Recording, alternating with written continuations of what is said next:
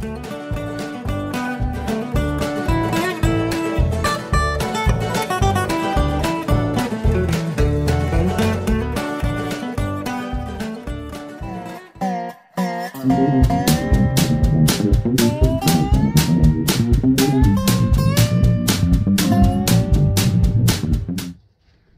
guys, how's everybody doing? Welcome back. It's uh, March or April.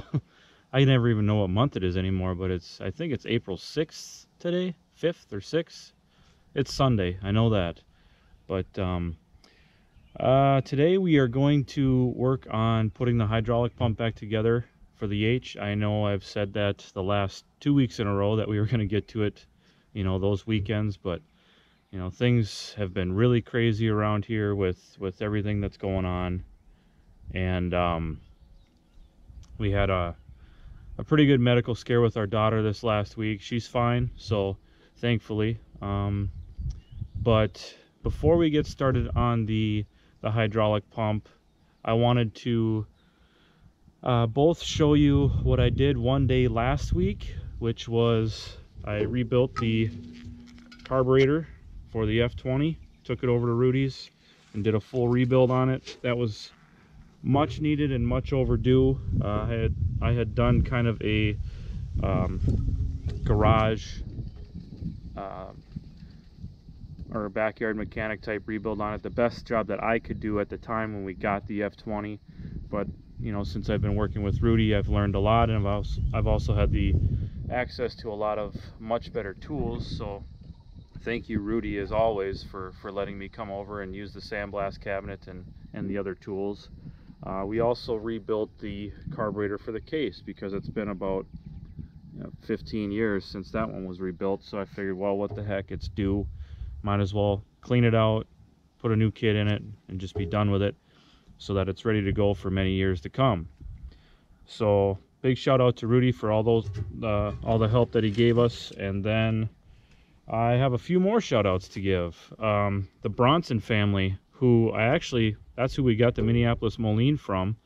They sent us a, a nice, very, very generous cash donation towards the, the H project. And not only did they send that, but they sent a koozie and a shift knob for the H. So I don't know if you guys can read this, but it says running in the red. So this is a really cool shift knob that's going to go on the H. Um, it resembles a piston, so it's got these O-rings up top to resemble the the uh, the piston rings. But huge shout out to the Bronson family. Really appreciate that. Very generous of you to also send that uh, donation over for the H. So um, second, I got to give a big shout out to Richard, Stephanie, and Hollis down in Arkansas uh, Richard actually sent a couple t-shirts that his daughter Stephanie made for us and they're in the house right now but I'll show you guys those t-shirts later but they're really cool t-shirts and uh, we really appreciate that. Um, I, I, don't know if there's any other matching family set of t-shirts we have but um, definitely a first and they're definitely awesome. So we really appreciate that. And um, just wow. You know the amount of kindness that goes around is is unbelievable. So third i want to mention daniel and davis in north carolina. Uh, daniel contacted me and he said that davis his young son really loves the videos really loves our channel. And um, he he watches it prior to going to sleep on the weekends. So i'm not sure if our channel puts you to sleep but if it does that's great. But um, huge shout out to you guys and and to everybody for supporting the channel. And um, you know it's just it's been a it's been a rough couple weeks around here so you know we're just we all got to get through this stuff together. Whatever's going on we got to get through it together. So let's uh i'm gonna get these carburetors put on. I'm not gonna film that part because it's it's just uh this this video is for the h. So we're gonna get that hydraulic pump back together and um, that's a video I've been I've been trying to get to you guys for two or three weeks and unfortunately that's about all we can do at this point is get that hydraulic pump together and you know, everything's still at sandblast and I don't know if Bill is working or not, if he's been shut down since this whole shutdown has started. And then the radiator actually was supposed to go up to um, to Glenn's shop up in uh, northern Minnesota, but he's also been um, his business has been kind of suffering because of everything that's going on here. So, you know, everything's kind of at a standstill with this virus that's going around. But let's, uh, I'll turn the camera off here. I'll get these carburetors on real quick and then we'll go up front and start working on that hydraulic pump. All right. All right, guys, we're back in the garage and we've got everything for the hydraulic pump laid out. I've polished all the surfaces all the mating surfaces. I've polished uh, the drive dog journal where it rides on the seal. I've polished the shaft where the gear and bushings ride. And I've also polished the journals on the drive gear itself. And uh, one of the things, oh, I also obviously coated the rough casting areas with the Glyptal, which is here. Uh, it's essentially, I described it in one of my previous videos, but it's essentially a uh, sealant that helps seal off the porous casting surfaces uh, for a couple reasons. It allows better uh, drain back and flow of oil so it's not clinging to those porous surfaces. And it also helps seal the porous surfaces in case there's any irregularities from the casting uh, so you're not getting seepage through the casting and or you're not getting any residual sand coming back through and getting into your system. So that's essentially what the Glyptal is for. It's got a few other uses to it. You know, it helps transfer heat better and and things like that. But or insulate, I shouldn't say transfer. It helps insulate, um, you know, castings. But uh, one thing I wanted to talk about before we put this back together are these these check valve check valve ball and spring. Um, uh, as you can see, Richard, actually, Old Farm Junk 101, he sent us a entire bag of innards from this pump.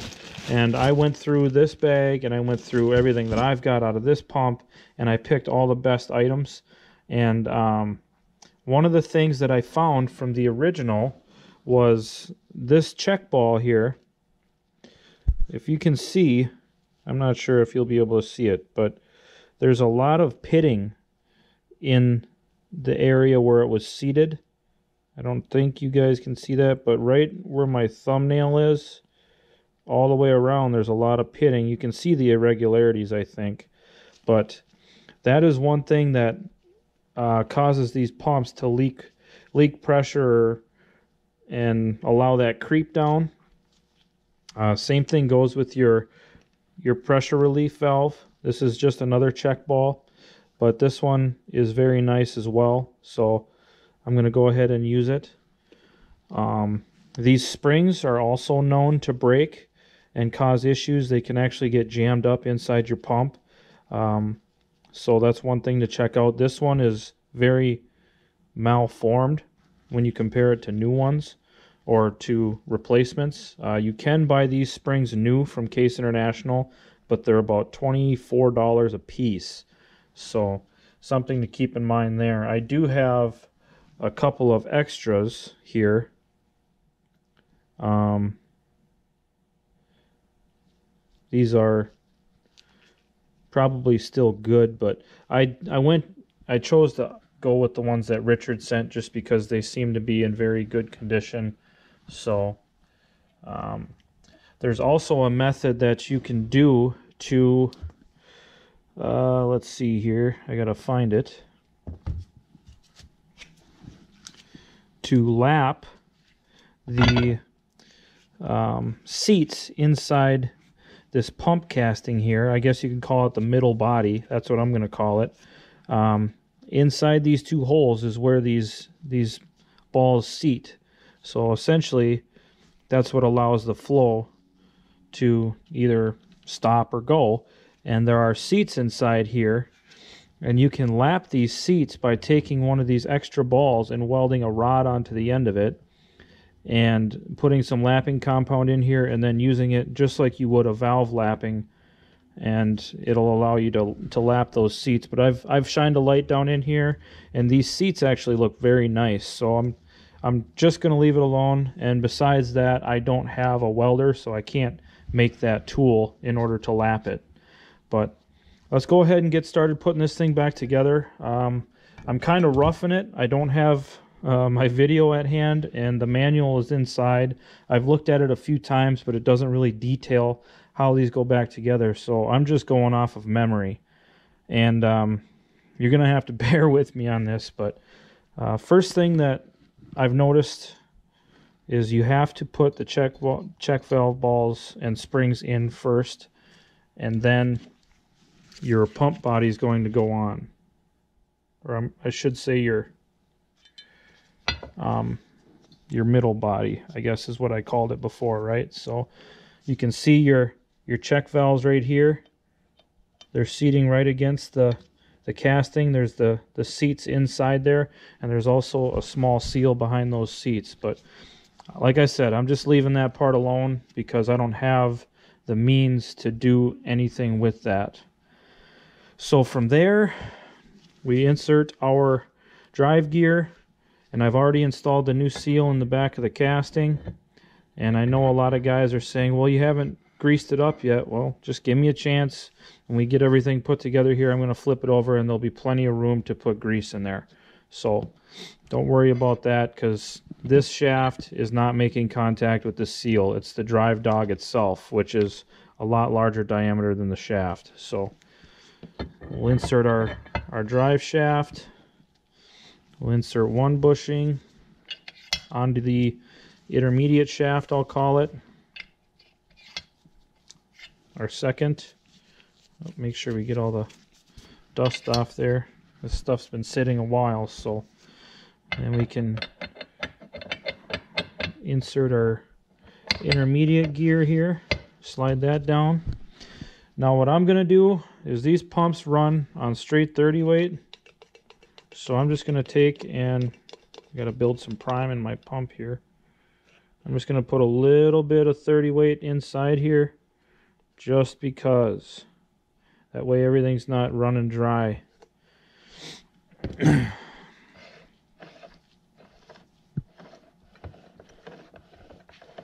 so that's there.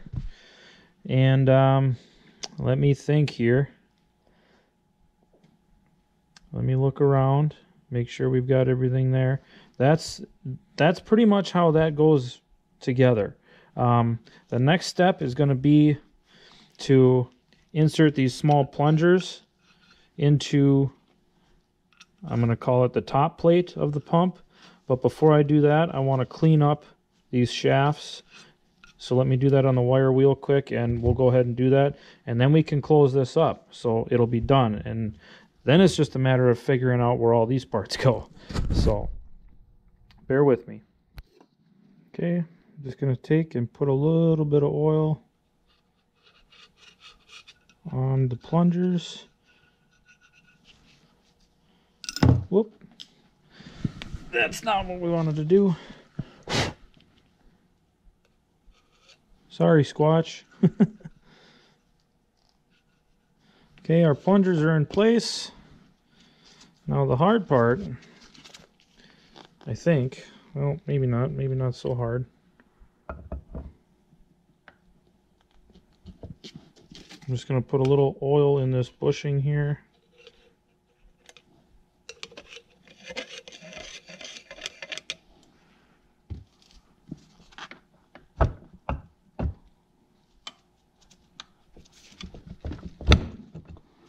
Okay. Make sure everything's lined up. And then, let's see, our pump manifold, which is here, goes right on the backside of this portion. And there are two through holes. I believe it's these two that use the longer bolts. So they go right through the casting and into the manifold. So we'll put those in place.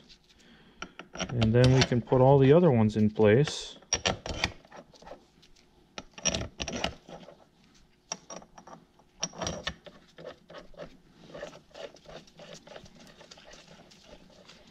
And there aren't any torque specs online or in the in the manual for these. So I'm going to give it the old uh, Gutentight measure. No, I'm kidding. Um, I'll uh, I'll look up the torque specs for this specific size bolt, and then we'll go from there. I'm pretty sure it's going to be like probably 60, 65 foot pounds, something like that. Just going off of what I've seen on other um, charts that I've looked up in the past, and this should be uh, probably a 7 16 coarse thread.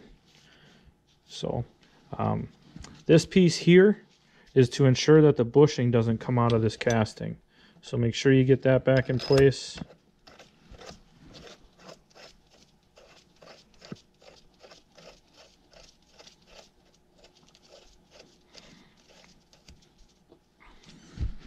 Okay, I'm just to snug these down and then um, we'll uh, we'll do the torque specs. But before we do that, before we torque them, I'm going to install this manifold on the back side. And um, just so you guys are aware, before I move on, uh, the hydraulic drive pump, counter shaft, um, drive seal that goes around this drive dog on the pump side is a 13649 in the in the SKF brand. Um, and then the gasket is still available for the pump manifold from Case International, and that's a 15070E.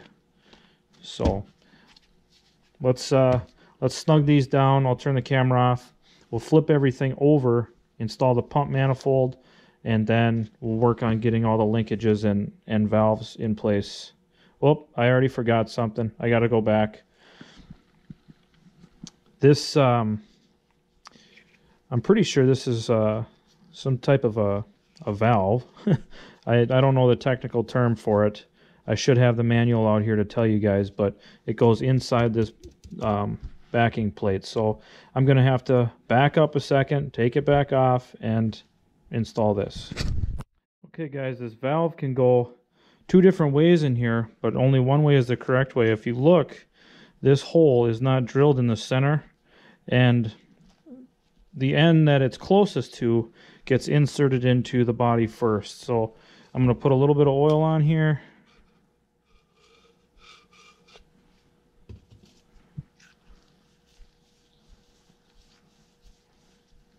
And insert it into the pump body. Make sure I work it back and forth a couple times just to ensure that the inside of the pump body has plenty of, of oil on it.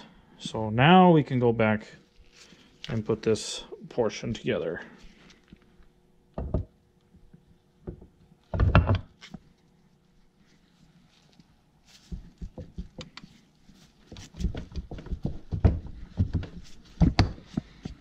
right, there we go. All right, I'll put the bolts back in and we'll snug everything down and put the manifold on. Okay, we've got the manifold in place. I've got the gasket underneath there, and I always use a little bit of uh, RTV gasket maker as a sealant. Um, again, I don't use much. I just put a little bit on my fingers and rub the gasket thoroughly through my fingers and get it coated just so it's tacky. And then I lay the gasket down and apply whatever, you know, whatever I'm putting together. But this piece is on loosely so you can see some of the gasket here, right on the edge there.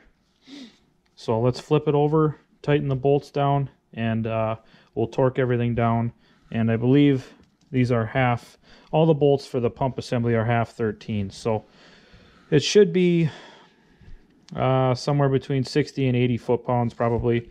Uh, I'll double check that, but let's uh, let's flip this back over, get everything tightened down, and then we'll we'll start putting all the small pieces back.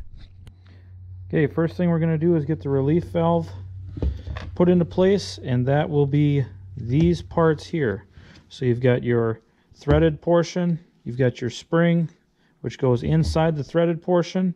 And then you've got your actual follower, which I still need to polish and I'll do in a second.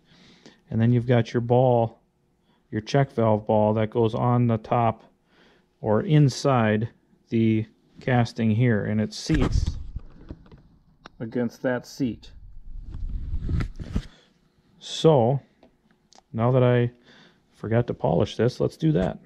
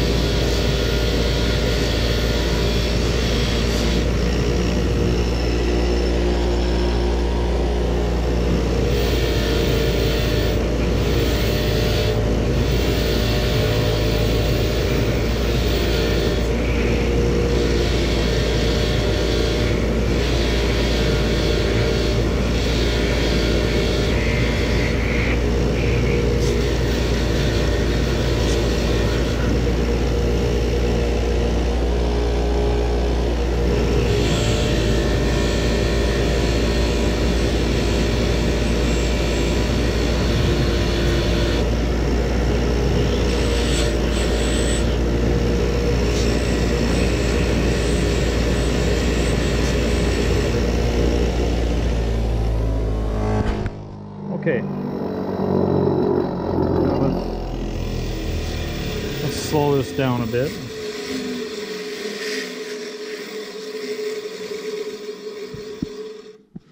There. Turn some quiet back on. So, spring inside the mechanism here, the valve, the relief valve. Slide on top of that spring and we will actually put a little oil on here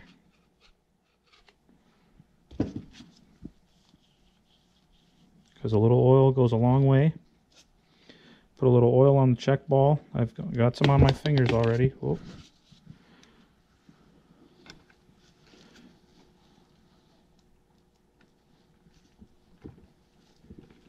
And now this is under pressure so you're going to have to squeeze it together in order to get it started.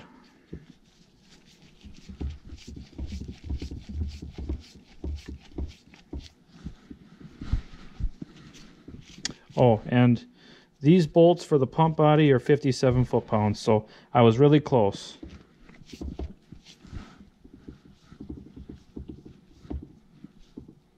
Thread it in by hand. And then there is a small cup that goes on the top side just slides on top like that but before we install that we're going to snug this down and then we'll uh, move on from there okay now we have to put the relief valve lever into place. Now before we do that there's a really small spring that goes into a hole right here. So we insert that spring into the hole. Insert the pin. Oh a little bit of oil.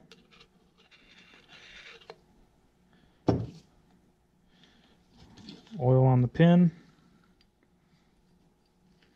compress the spring with the lever, swing it over onto the pin, and then insert our cotter pin. Now these are the old cotter pins. I'm obviously going to use new ones, so we'll uh, get some new ones out of my case over on the wall here and keep going. Okay, well, this is why we make videos. this did not uh, I kind of did things out of order here. So the relief lever has to go on after this portion. Okay. So now let me figure out the orientation here. This lever here goes onto your relief valve, or I should say your check valve plungers. Okay. This has to go into place first and then we can put on our relief valve lever. So we get that on, compress the spring on the back side, Get it started on the shaft. Now we can insert our cotter pin. Just like this.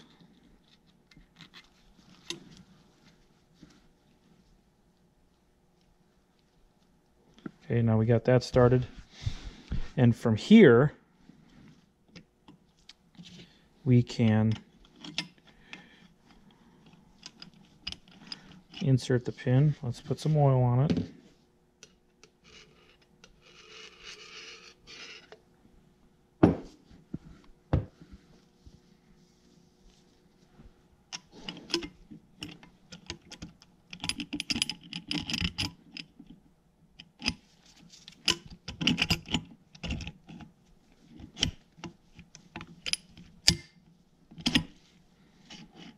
Insert the pin here. The spring goes here. And this is probably going to be a pretty tough, it has to go like this. And we have to compress the spring. I think we got to insert the pin from the other side, actually. Like this, maybe, maybe.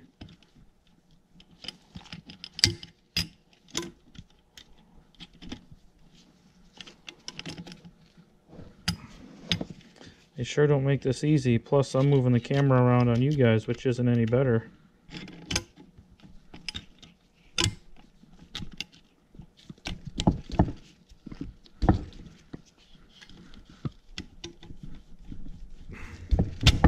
There we go.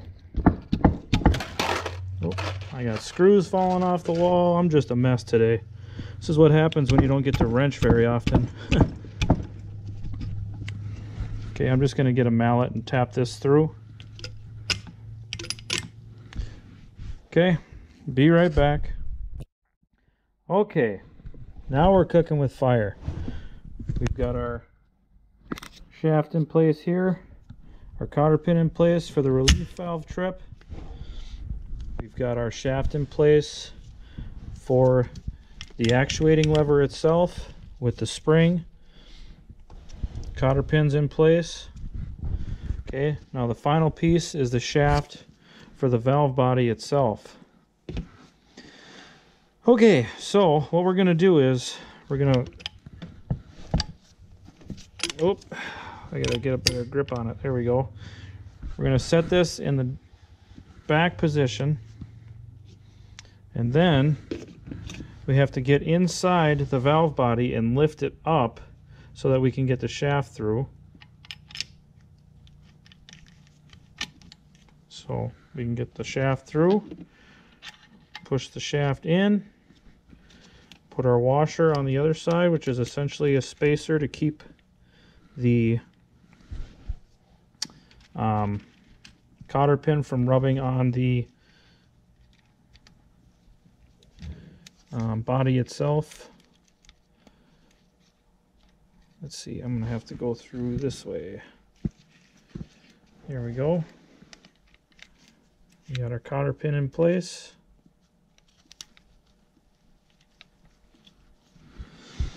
We'll flip it around so we can trim it.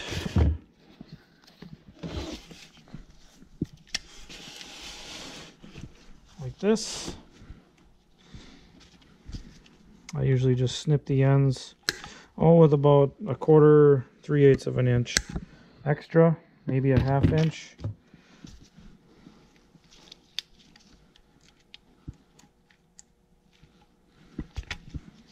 Fold it over. Now I fold both ends over. Um, some people just do one end. It's up to up to you how I want to do how you want to do it. But because these a lot of these pieces in here are so uh, close together and there's a lot of you know moving levers and whatnot. I'll fold them both over so that they're tucked. And uh, they don't end up in the way somehow. So we're together there. And the last piece is the drive coupler on the other side. So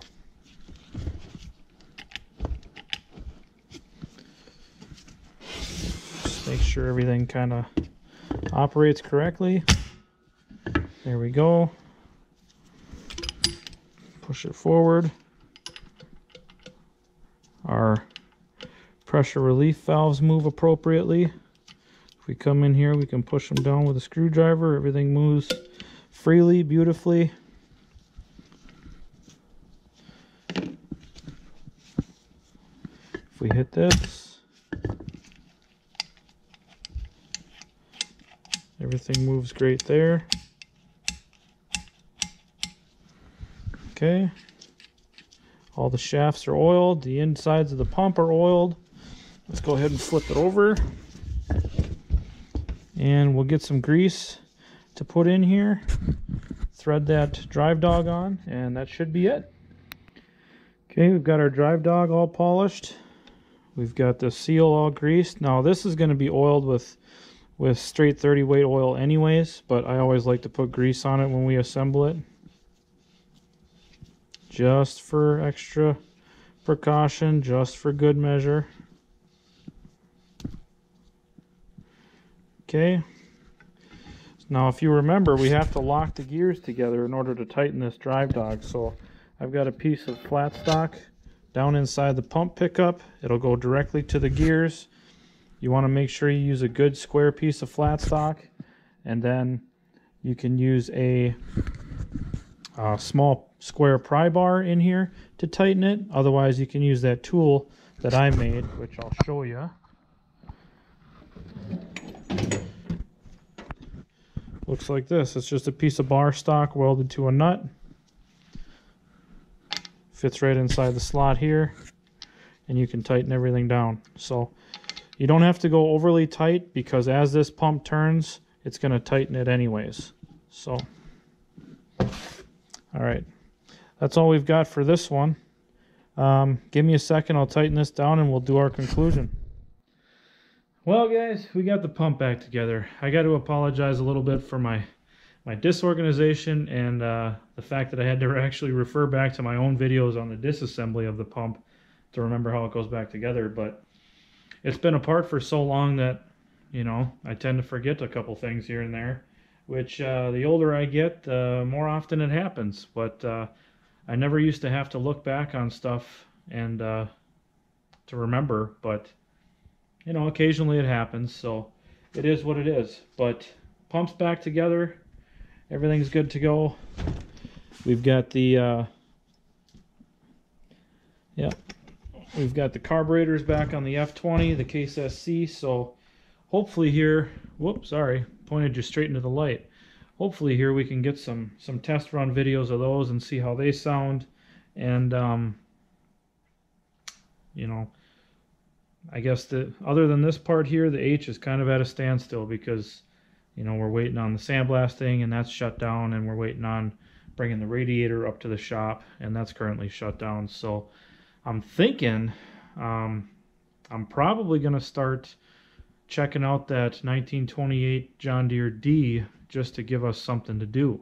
So stay tuned for those videos because I want to get the rear wheels switched out so that we got the rear rear steel wheels put on and in order to do that, I got to strip all the steel lugs off of the steel wheels. And um, then I wanted to get the radiator, the hood, all that stuff pulled off and get the head pulled off and have a look inside the cylinders to see how badly we are stuck. So that's all I've got. That's the hydraulic pump reassembly video. You know, a little bit of back and forth, but I appreciate your patience. And as always, thanks for watching. Thanks for wrenching. And uh, stay tuned. Don't forget to check out that GoFundMe in the link below if you can donate. Great uh, to the project for suicide awareness. Great. I know this these times are very tough. They're tough on us too. So um, just everybody hang in there. All right, we're in this together and keep on, keep on keeping on. So we'll talk to you guys later.